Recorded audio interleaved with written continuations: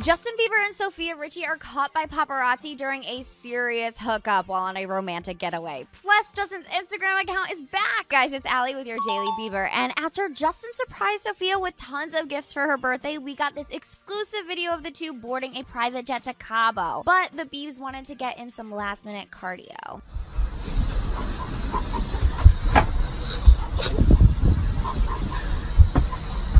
You're mentally Justin is me after my morning coffee. But all right, once in Cabo, JB really turned on the romance. I mean, look at this. Do you guys still doubt these two are a couple? Well, if you've seen these photos the Daily Mail obtained, you wouldn't. They've gotten pictures of Justin and Sofia basically hooking up right outside their resort. Justin even decided to moon the paparazzi. But okay, the strangest thing might be Sofia wearing the exact same bikini Selena rocked last year aboard a yacht in St. Tropez. Obs, this is just a coincidence, but people are freaking out about it, so we had to mention it. Who wore it best? Just kidding, don't answer that. But all right, switching gears, Justin is back on Instagram, guys. Yes, his 77 million followers are still intact, and he's even following Selena again, although she isn't following him back yet. And honestly, that's probably for the best. But all right, I have to hear from you guys. What do you think about Justin and Sofia heating it up in Cabo? Are you shipping these two? Or are you like me and still holding out hope for a Jelena reunion?